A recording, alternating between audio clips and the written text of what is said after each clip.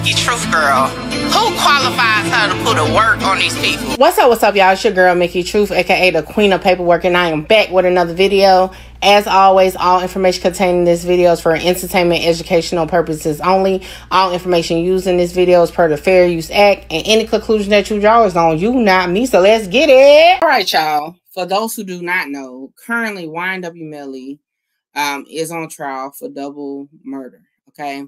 He is facing the death penalty if convicted of the murder charges. Okay. Just a little background. The previous trial ended in a mistrial and they were stuck on the manslaughter. However, totally new trial, totally new jury, is no telling which way they will go. Before I get into the Melly case, I do want to shed light on some innocent men, right, that have been executed, not just in Florida, but in other states also. This particular case is Leo Jones, Florida, executed in 1998.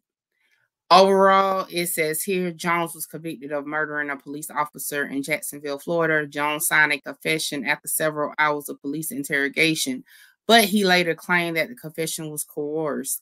In the mid 1980s, the policeman who arrested Jones and the detective who took his confession was forced out of uniform for ethical violations. The policeman was later identified by a fellow officer as an enforcer who had used torture. Many witnesses came forward pointing to another suspect in this case. The death penalty. I'm gonna be honest, this is one of those things where you got to be for real. You got to make sure you're sending the right person to death row because there's no takes backs, there's no none of that. Once it's done, it's done. Another conviction slash um, execution was Gary Graham in Texas. And it says on June 22nd, 2000, Gary Graham was executed in Texas, despite claims he was innocent. Graham was 17 when he was charged with the 1981 robbery and shooting of Bobby Lambert outside of a Houston supermarket. He was convicted primarily on the testimony of one witness, Berdine Skillern, who said she saw the killer's face for a few seconds through her car windshield from a distance of 30 to 40 feet away. Two other witnesses, both who worked at the grocery store and said they got a good look at the assailant, said Graham was not the killer, but were never interviewed by Graham's court appointed attorney, Ronald Mock, and were not called to testify at trial. Three of the jurors who voted to convict Graham signed affidavits saying they would have voted differently had all the evidence been available. Mm, all the evidence made available for people to make their own judgment. That's wild. First part of being able to seek the death penalty in a case. In YNW Melly's particular case, okay, per Detective Moretti on his August 25th, 2021 deposition, YNW Melly committed murders to make money or to gain money, right? Allegedly, $200,000 was to be paid to victim number one who was sitting in the front passenger seat. The source of these allegations came from victim number one Facebook messages accused of errors and testimony of victim number one mother. Evidence none. Detective Moretti admits to assuming that Melly would gain the money since no funds were paid to victim number one. You can find that on page nine of his deposition. Segue back into another innocent man who was executed. This was in Texas. Ruben Cantu. A two part investigation series by the Houston Chronicle cast serious doubt on the guilt of a Texas man who was executed in 1993. Ruben Cantu had persistently proclaimed his innocence and was only 17 when he was charged with capital murder for shooting death of a San Antonio man during an attempted robbery. Now, the prosecutor and the jury forewoman have expressed doubts about the case. Moreover, both a key witness in the state's case against Cantu, and Cantu's co-defendants have come forward to say the Texas executed an innocent man. That's crazy.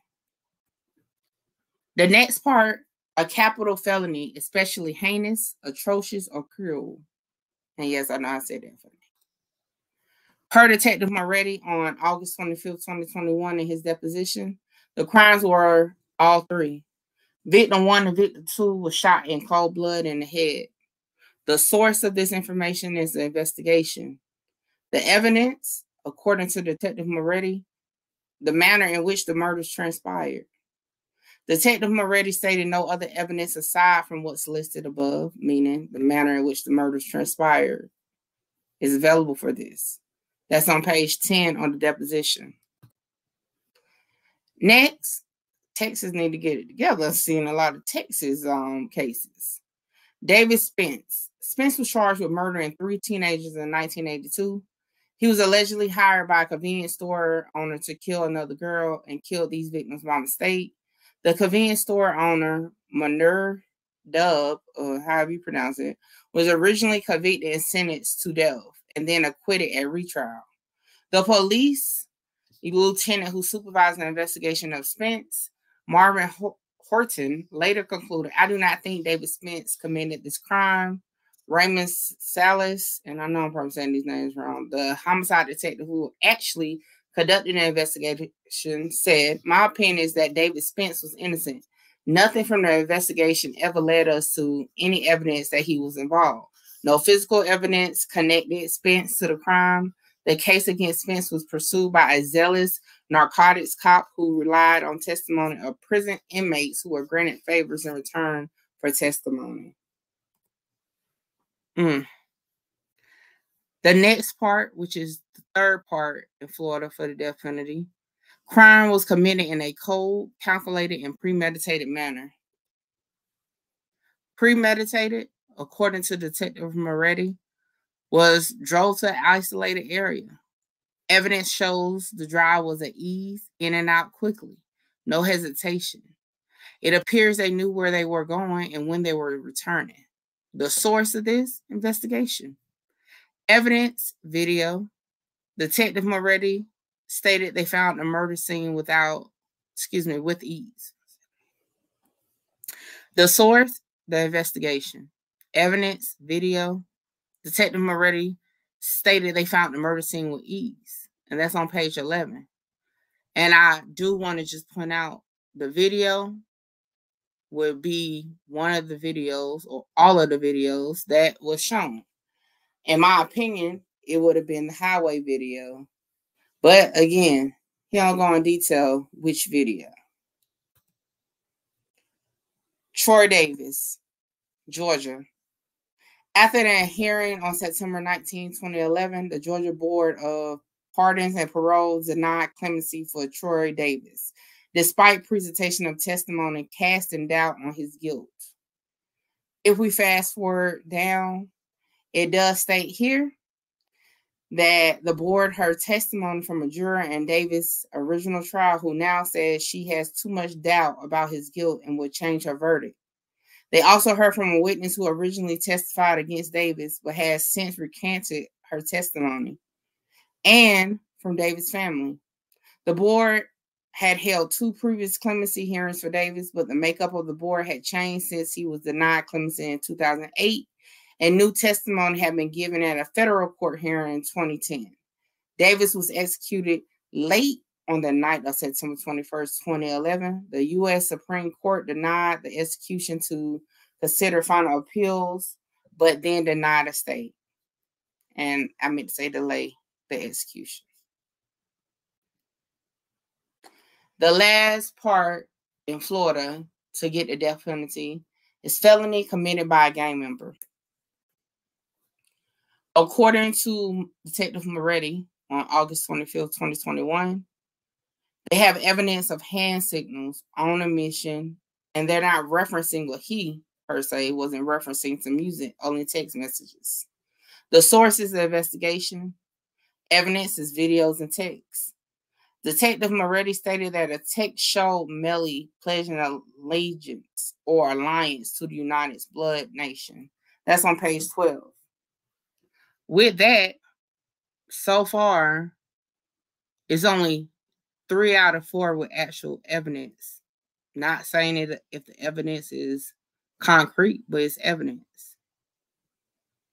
The only one that doesn't have evidence is the financial gain.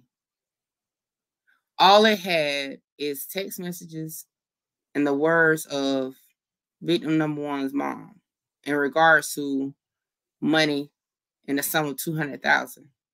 My thing is this in the deposition, Moretti is the one that's piecing it to point to Melly with no evidence, assumption, illusion.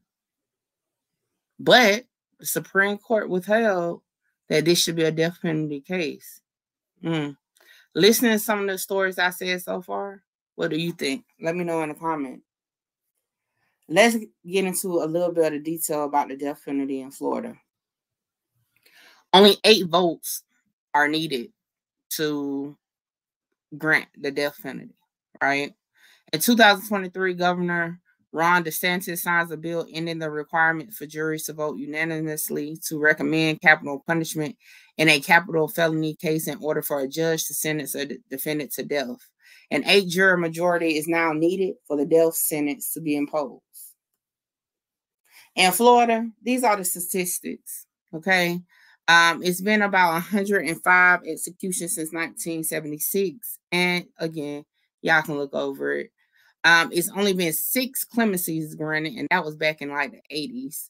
Um, due to the governor at the time, I can't remember, I think it was like Bob something, um, stating they it was possibility they was innocent. 30 people have been free from death penalty. Not just 30 people, 30 innocent people. That's a lot. I'm not even lie. That's a lot of people to have on death row to be innocent, right? Now, it is an alternative to the death penalty, which is life in prison. Now, I don't know about y'all. If I had some uncertainty of someone actually being guilty based off of the evidence, I would prefer to be the one picking life, not death. These are some of the names I went over throughout this video that was executed but possibly innocent.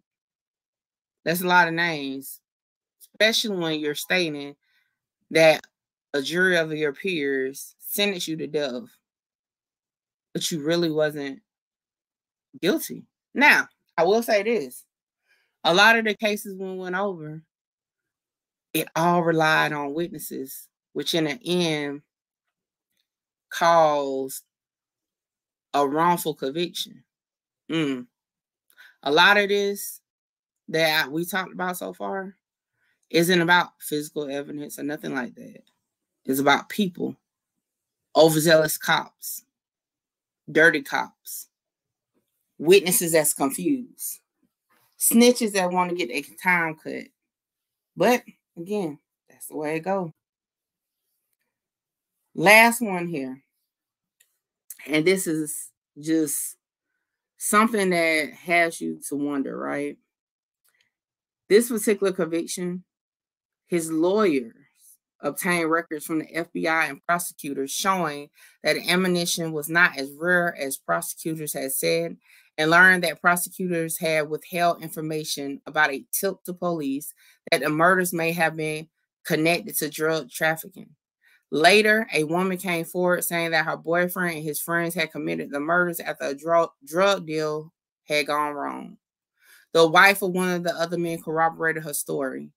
In a court filing shortly before his execution, Bauer's attorney argued this is a case in which there is significant lingering doubt regarding guilt or innocence.